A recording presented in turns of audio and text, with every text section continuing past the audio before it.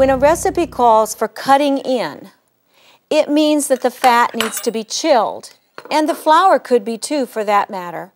Everything needs to be cold as possible to keep the fat from melting. So here I have chilled flour mixed with the leavening and the salt, and it's similar to what we would use for a biscuit or a scone. Self-rising flour may also be used or other baking mixes. They would already have the leavening included. The cold butter is added in small chunks for ease in cutting.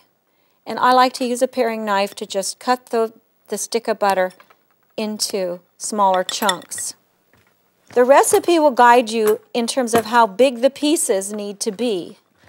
Some recipes for pastries will tell you that the chunks of butter should be cut in, as I'm doing, until the mixture resembles pea-shaped sizes. Your goal in doing this is to keep the flour from being coated in melted fat. So that is why the, the cold butter or shortening is so important. Then when it goes in the oven and the fat melts, it leaves an air space and layers. You won't get this if the fat has already been softened and is too melted when you start mixing the flour with it. You can see the chunks getting smaller. This can also be done in a food processor with a few pulses.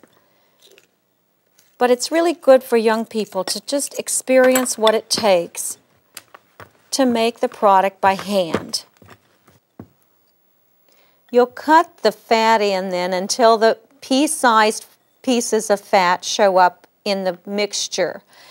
If that's what the recipe calls for, it's time to stop right now.